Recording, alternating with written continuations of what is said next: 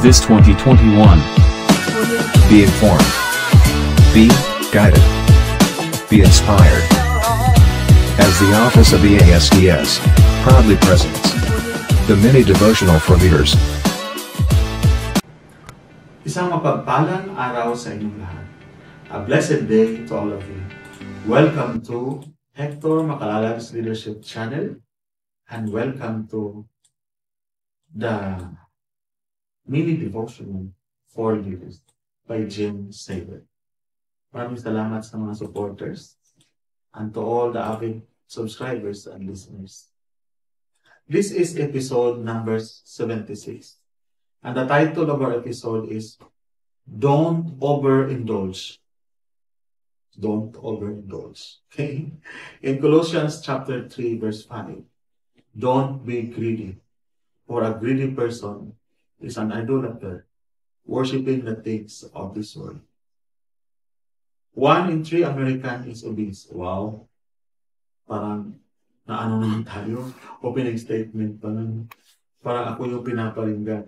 The two-thirds are overweight because we've forgotten to say, no, thank you. I have enough. This is for me. We have an insatiable appetite for more. It's not that we eat that makes us sick, but the sad fact that we don't know when to step away from the table. Organization can also display patterns of overindulgence.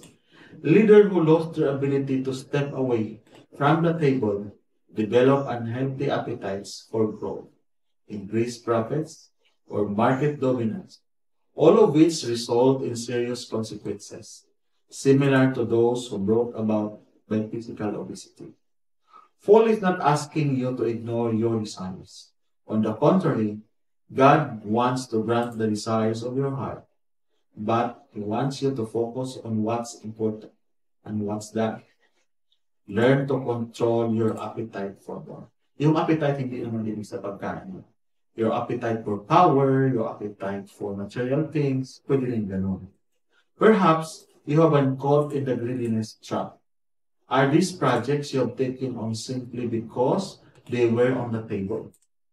So pag yung greediness talaga pumunta sa heart ng mga tao, you will all be overindulged. So the leadership principle is do you need to put your organization on a diet? Wow! Organization's diet. Ngayon ko lang Have a blessed day, everyone.